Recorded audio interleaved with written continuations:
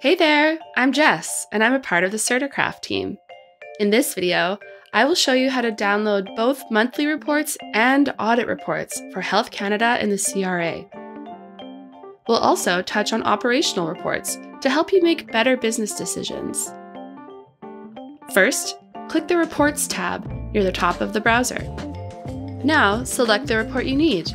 For monthly reports, you can download the CTS for Health Canada, the B300 for the CRA, and the Healthcare Practitioners Report if you have a medical sales license. Select the reporting period you need the report for. Now click Download Report and wait a moment as Certicraft generates the report for you. There you have it!